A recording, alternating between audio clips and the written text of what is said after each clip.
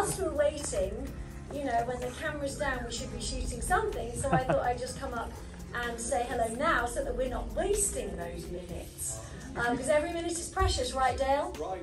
Yeah, every minute costs money, right, Dale? I know.